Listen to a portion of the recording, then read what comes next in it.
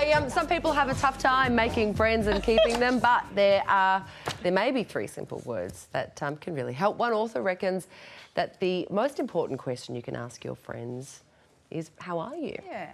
Angela, what do you reckon about that?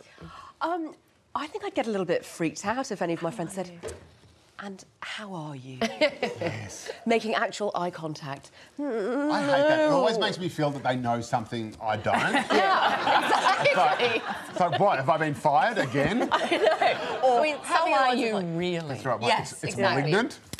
But, but but I think the thing is, we do we don't check in enough with people though, and I mean I know I'm a bit guilty of this that I assume that friendships will just be there. All the time, But the you best get will. but- yeah, but but you still have to put the time in, and and I, I'm kind of guilty sometimes of not putting that time in, not emailing back or responding to messages, and But what makes a good friend, do you think? Like, if, if I was to say, I would say trust, I'd say Mm. honesty, I'd say respect, and above all, um, you know, don't judge. Yeah. I've lost a lot of friends, true. you know, Mm. for various reasons, and people are very quick to Mm. judge without knowing other sides of the story. Yeah, very Be good. kind and listen. The How, most- how many how many friends do you have? Close friends, Anna? Uh, My close One hand? friends, yeah, one hand. Um, Five, as in. Yeah, uh, I had I have had loads and loads of friends in the past um, who I thought were really really good friends, um, and they they drop off. But hmm. my very close friends are the, are the kids that I've grown up with. Well, that's the thing. Did, did you get to the point and get to a certain age where you go, you know, I've, I've got five great mates. I'm kind of not recruiting anymore. You don't Yeah. need. You don't need. Yeah, yeah, exactly. I, I, like, I'm done.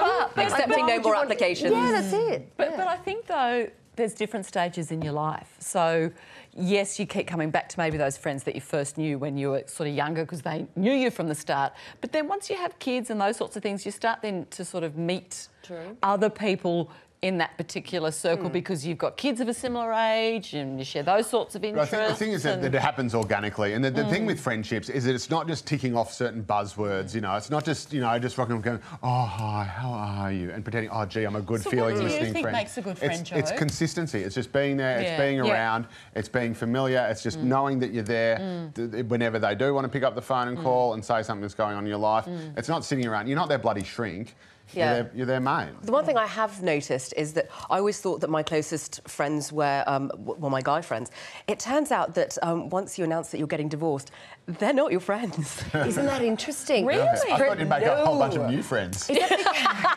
Is that because pressure from the wives to say, no, no, no. These are, um, uh, okay, no wives involved.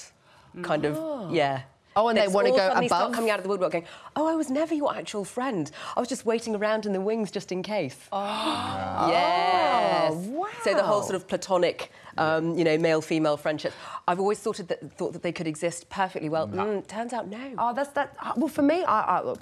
I've, I, my best mate walked me down the aisle for my wedding. Um, I- you know, I've, I've got a couple of really good mates who, blokes who um, are like my brothers. Yeah. So I think it's. Yeah, that's but what I yes, thought. really, That's yes, what I really, thought. producer. I think as, Yeah. as a Mate, yeah. girl, you, your mates who are blokes are like your brothers. My my best say, are they friends gay, are though? all are all men.